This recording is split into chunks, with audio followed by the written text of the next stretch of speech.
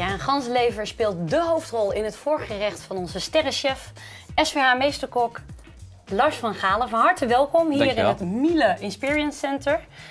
Uh, we hadden het er al over, hè? het ganzenlever. Ja, we gaan een mooi gerechtje maken met ganzenlever. Hij ligt al klaar. Uh, die gaan we combineren met wat witlof, uh, appeltje erbij, een krokantje van de huid van de eend, een pruimpje erbij gemarineerd, gevuld met ganzenlever. Dus het wordt hartstikke leuk. Hartig en zoet? Ja. Die gaan elkaar ontmoeten, we gaan ja, aan de slag. Nou, dit is een biologische ganslever en die hebben we gepekeld. een nachtje in de pekel gedaan, met uiteraard kleurzout en zo om te voorkomen dat hij gaat verkleuren. daarna hebben we hem gegaard in de vacuüm in de oven voor vijf, op 50 graden voor 50 minuten. Nou dan is, komt hij er zo uit. Ja, wat gebeurt er dan in dat proces daarbinnen? Ja, de, de vet, het vet komt vrij, dat zie je ook. Hè. Die zit hier langs, dus er komt wat vet uit. En, uh, en, hij wordt natuurlijk mooi gegaard. En als we hem dan, kuisen noemen we dat, schoonmaken.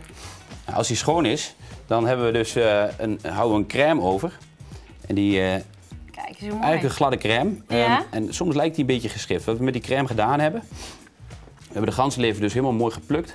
En vervolgens hebben we die aangemaakt met wat uh, witte port en wat vieux, op smaak gemaakt. En uh, doorgevreven door een zeef om te zorgen dat de laatste restjes uh, vlies eruit komen. En dan wordt dit het eindresultaat? Ja, en voor degene die goed kijkt, lijkt het alsof die in de schrift zit. En dat klopt ook wel. Um, maar dus niet in paniek raken? Niks, aan, de hand. Niks aan de hand. Wat we hebben gedaan, we hebben hier een, een, een mal. Dus ik heb een malletje gemaakt van siliconen, die maken we zelf. Dus we hebben een, een, een slangetje hebben we eigenlijk rondgebogen. Ja, in de vorm die jij in de vorm die ik graag wil hebben. Ja, en die uh, ingelegd in siliconen. En dan hebben we deze over. Het ziet er een beetje vreemd uit. Maar hier binnenin zit exact een mooi glad cirkeltje, zeg maar. Van gansleven ja, straks in ieder geval. Aan één zo'n uh, heb jij niet genoeg, hè? Nee, ik heb er een stuk of uh, honderd, denk ik. Want ja, we zullen toch, als we 60 couverts draaien, zul je wat moeten hebben, uh, massa, basis. Goeie tip. Wat gaan we daarmee doen? We gaan hem vullen en dan gaan we hem vervolgens uh, goed koud zetten. Dan zetten we hem eventjes in de diepvriezer, die kan opstijven, zodat we hem kunnen lossen. Uh, is eigenlijk heel makkelijk. Het is gewoon een kwestie van met de spuitzak vullen. Helemaal tot de rand, heel belangrijk, want de lucht moet eruit. Een paar keer even goed kloppen om de lucht eruit te krijgen. Kwestie van glad wegstrijken. En zo zetten we hem in de diepvries. Ja. Nou, hier is hij dan. We hebben hem eh, goed gekoeld, gevroren en toen uit de mal gelost. En dan zie je dus dat hij een hele mooie strakke ring krijgt.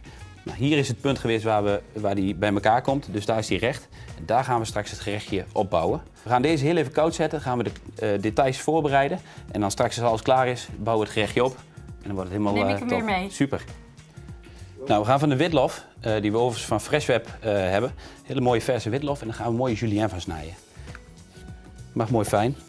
Lars, waarom heb je gekozen voor witlof als groente voor hierbij? Nou, het leuke van dit is, uh, het bittertje past gigantisch mooi bij de, bij de ganzenlever. Want het soepje van de ganzenlever die erbij komt, die is, die is dan weer wat frisser met de sterrenijs. En het bittertje van de witlof die komt heel mooi naar voren. Deze doen we mooi bij elkaar. Ja. Dan heb ik hier het bieslook. En die bieslook die hebben we eventjes geblancheerd. Kijk, zodat die mooi zacht wordt dat je hem kunt bewerken. Die gaan we daar midden op leggen. Ja, we gaan hem uh, echt een mooi klein uh, verfijnd pakketje van maken. Dat is altijd leuk dit. Is overigens nu een gerecht wat bij jou op de kaart staat? Ja, dit staat op dit moment op ons menu. Menu saisonnier, dus uit het seizoen. Kijk, en dan snij je hem heel strak bij. Ja. Dan hebben we een heel strak pakketje.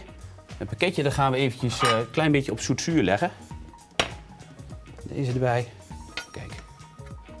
Die gaat mooi hierop. Ja. Op zoetzuur? Ja. Hier hebben we wat wij noemen aigre uh, zoetzuur. Dus eigenlijk uh, azijn, water, wat sinaasappelschillen en wat suiker. die hebben we opgekookt, die hebben we laten trekken met wat laurier er nog bij. We hebben een lepel nodig. Nou, dit is dus lekkere zoetzuur. Dan gaan we hem heel even een klein beetje mee besprenkelen. En die kan er dan eventjes mooi intrekken. Mm -hmm. Die komt vervolgens bij ons gerechtje straks. Nogmaals, koud gerecht, dus dit laten we zo. Laten we gewoon cru, uh, zeg maar gewoon uh, rauw. En het zuurtje dat zorgt ervoor dat hij wel wat zachter wordt, zeg maar. Maar hij houdt wel die bite. En dan gaan we weer door. Gaan we weer door. De pruimen, heel benieuwd wat je daarmee gaat ja, we hebben de pruimpjes uh, hebben we gemarineerd. onder andere in wat, wat bier met vanille. heel even gekookt, dat hij dus even wat garing krijgt. Ja. Die gaan we vullen met de ganzenlever. Oké. Dus, want ja, de pit is eruit gekomen, dus er zit al een gaatje in. We hebben dezelfde crème die we net in de ring hebben gespoten. Die spuiten we nu in, de, in het pruimpje. Dus die kunnen we zo vullen. Het voorgerecht komt nu voor de tweede keer ja. ganzenlever terug. Ja. Kijk, daar zit al een mooie hoeveelheid in. Die komt er aan de andere kant iets uit, maar dat maakt niet uit. Wat we gaan doen, we winden hem op in de folie. Zodat we hem mooi rond kunnen houden en mooi strak wordt. Ze was een beetje uit vorm. Een beetje uit vorm. En zo wordt hij weer heel mooi rond. Nou, die laten we dan eventjes opstijven in de koelkast. Ja? En dan wordt die ganslever wordt weer wat harder. Gaan we hem eruit halen, is hij weer mooi rond. Maar eventjes. Eventjes. Een 10 minuutjes, een kwartiertje. Dat is meer dan genoeg. Ja. En die komt straks mooi bij. Nou, hier hebben we de appel. We hebben gekozen voor de Pink Lady appel. Een mooi zoet appeltje, die komt daarbij. Dan gaan we hele dunne plakjes versnijden en die gaan we vervolgens uitsteken. En die komt bij het gerecht. Uh, op de gelei van uh, gaan we die doen. Ja. Dus wat belangrijk is dat die mooi dun is uiteraard. Dan hebben we hier een, uh, een steker. Stekertje. Gaan we gewoon mooi plakjes uitsteken. Dat is niet zo heel spannend natuurlijk. En die doen we heel eventjes in een bad met uh, water en wat citroen. Die hebben we daar staan. En waarom? Wat doet dat? Nou, die voorkomt dat het appeltje gaat kleuren. Ja. dat hij mooi fris blijft. Nou, vervolgens hebben we hier het krokantje klaarstaan. Het krokantje is uh, gemaakt van, uh, van de huid van de eend. Ja, wat heb je daarmee gedaan? Ja, die, die, die huid hebben we gekookt in de gevolgde bion. Ja? En vervolgens doorgedraaid, helemaal glad. En uh, aangemaakt met tapioca. En die hebben we gedraaid in de thermoblender voor een 15 minuutjes ongeveer op 100 graden. Dan krijg je een heel mooi, mooi papje, zeg maar. Die smeren we uit en die bakken we af. Ja, die smeer je echt flink uit, ja, want het is flinterdun. Het is, een, het, is een, het is een heel dun dingetje, dus dat is mooi. Dat is super. Dat Maar gaan we dus gebruiken die gaan we erbij doen. Het dresseren van het bord. Ja, die komt erachter te staan. We hebben hier een, eh, een geleitje gemaakt, een gelletje eigenlijk, van Sauterne. Uh, we hebben de massa hebben we gekookt, uh, Sauterne massa, wat water zit erbij, um, wat suiker zit erbij. Afgebonden met agar-agar, uh, op laten stijven, dus vijf minuutjes doorkoken met agar. Op laten stijven en doordraaien in de uh, thermoblender en dan krijg je een hele mooie ja, gel. En die gaan we straks ook gebruiken. hele mooie kleuren zo Ja. bij elkaar. Ga je ergens mee knallen qua kleur? We gaan het zien. We gaan het zien, dat komt goed. Uiteraard hebben we mooie cresssoortjes erbij. Ja. Dus eh, hier gebruiken we de daikon, dus mooi pittig erbij. We hebben hier een poedertje van tomaat. We hebben de, eh, de huid of de, de, de, de schil van de tomaat gedroogd. Vervolgens doorgedraaid, we een mooi poedertje van gemaakt. En een hele belangrijke is de jus van ganslever die erbij komt straks. Dus een eh, soepje gemaakt van ganslever met wat sterrenijs daarin. Dus dat wordt wat. We gaan bord dresseren, denk Wij ik. gaan dresseren, ja. Kijk, gaan we doen. We hebben onze ring, komt net uit de koelkast. Dat is heel belangrijk, want anders dan, eh, hij, is- hij wordt vrij snel zacht. Wat ga je er aan toevoegen als eerste? Nou, als eerste gaan we eh, deze toevoegen. Dit is dezelfde crème, maar hier hebben we wat eh geconfijte Ja? doorheen Ingewerkt, gemengd. Ja? En die hebben we in een worszakje gespoten. Hetzelfde verhaal, op laten stijven, los en dan kun je gewoon stukjes snijden. Nou, uiteraard het pruimpje. Het pruimpje is mooi opgesteven in de koelkast. En die komt hier precies bovenop. Hier hebben we onze gel van de Sauterne, die spuiten we daar mooi eh, een beetje achter. Even een beetje draaien. Zo, wat erbij. Dan hebben we de witlof van Freshweb deze. Dan ga je de mooiste uitzoeken natuurlijk, hè? Daar gaan we even een hele mooie uitzoeken. Ja. En die gaan we wat aanmaken met wat olijfolie. En daar pakken we de okal eh, voor. En ik wilde, wat, ik wilde niet een hele grote blad, maar een iets kleinere. Dus gaan we iets verder op de witlof. Doe gewoon een heel klein beetje erop en wrijf hem iets in. Kijk, maar het moet niet te gek, hè? Want anders dan, eh, Nee, nee, nee. nee. wordt het veel te vet natuurlijk. Maar nu is het super klein beetje aangemaakt. Maar deze gaan we hier precies achter zetten. Nou, een witlof, dat eh, staat als een huis, hè? Staat als een huis. Nou, vervolgens hebben we uiteraard ons pakketje. Ook van witlof, die in de zoetzuur is gelegd. Die doen we heel even op een doek, want Ja. die jus die moet er even iets af. Ja.